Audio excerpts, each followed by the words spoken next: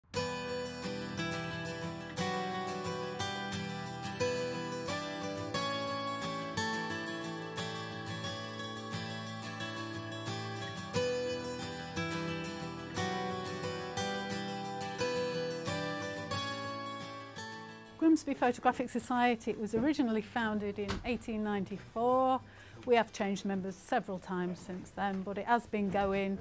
Uh, they've exhibited nearly every year, apart from the war years. So it's, it's been a good, strong club, uh, very enthusiastic members from the very beginning.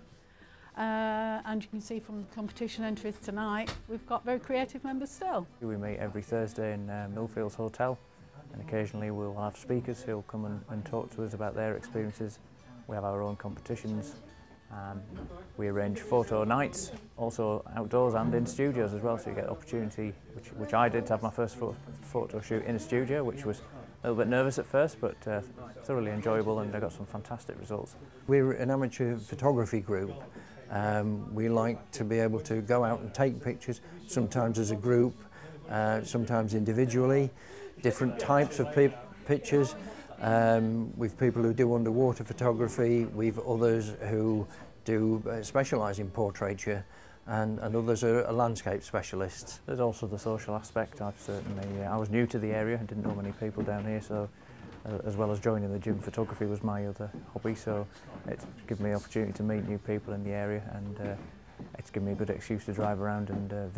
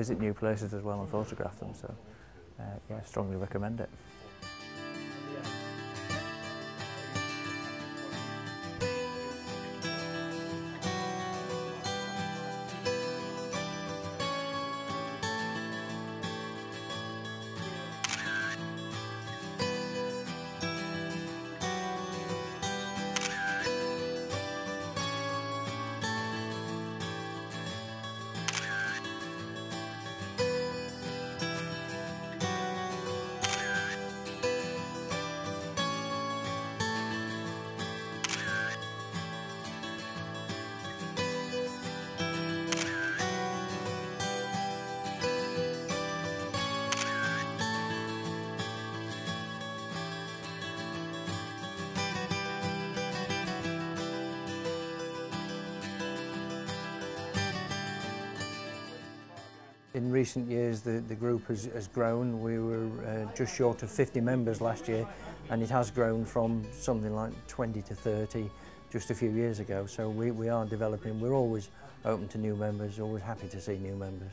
I joined the club, I was certainly made to feel very welcome. Uh, it wasn't a, uh, an overawing experience at all, and everyone very helpful and keen to uh, to help you and, and show you and give you tips? I think it's a, a brilliant club to be a member of and yes, we're always open to new members.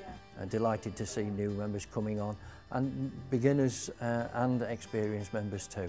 As far as competitions, there's a, a set program through the year. You can choose to enter them or, or not. You can observe other people's entries and, and learn from from the judges' comments on their photographs and hopefully take that into your own photography.